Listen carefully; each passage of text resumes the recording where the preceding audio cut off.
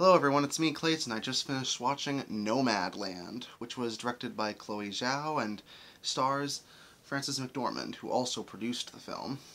This is a film based on a book of the same name that is about the nomads that went out around the American West after the economic recession of the 2000s. And let me just tell you, it's definitely a very atmospheric and very and very and very atmosphere-driven film. While there are characters to meet and while there are certain events that happen that resemble a story, it's mostly a character study and definitely a piece that's not meant for those who are craving, you know, extreme drama or extreme action. But what you will find is an absolutely fascinating film that actually does make me see why McDormand would want to choose it. Let's get to the story, shall we? The story is about Fern, a woman played by Frances McDormand, who decides after losing practically everything during the economic recession that she's going to live as a nomad out throughout the American West as she runs into a bunch of other people who have also lost almost everything they have. And the majority of the film is just her meeting friends, going to different areas throughout the world, mentally healing after everything she's gone through, and finding a means to life throughout this after not only losing her husband, but also losing seemingly everything that she had held dear. And that's really the fascinating thing about this film. The fact that you don't need any last second villains. You don't need you know, plot twists that don't that don't matter in the end. You can just show a life, and that's enough for this film.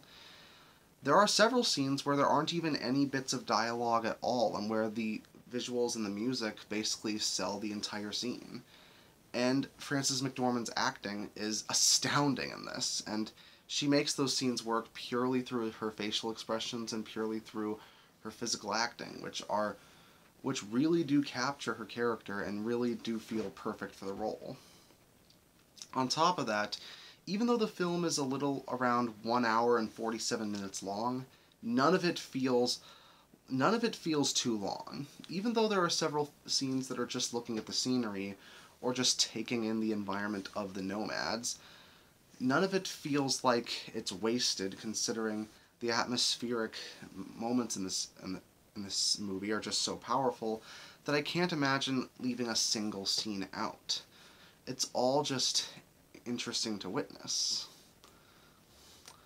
It also helps that with with the few characters that are in in the film, they do manage to enliven proceedings and they do manage to allow Fern to work off the other nomads, especially one character named Swankie, who she shares a few she shares a few you know, conversations with that are not only emotionally impactful, but I actually really felt for Swankie and her story, even though it only lasts for a small portion of the film. There are several characters who are like that, some of which who are apparently actual nomads that play fictionalized versions of themselves. And hey, playing yourself can actually be really effective, and it really is here. As for Chloe Zhao's direction, I can see through this that she's very good at um, emotionally impactful scenes, and more atmospheric shots.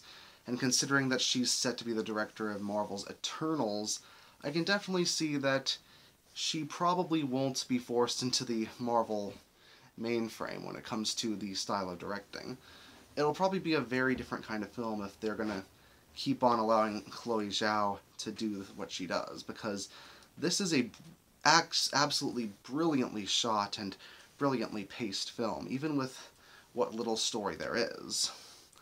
So Nomadland is definitely a really good pickup for Hulu. It's really a film that could be effective now, even if even if it's taking place several years after said recession happened. And I think it's one of the best performances I've seen Miss McDormand in. That's why I'm going to give Nomadland a perfect 10 out of 10. See you next time.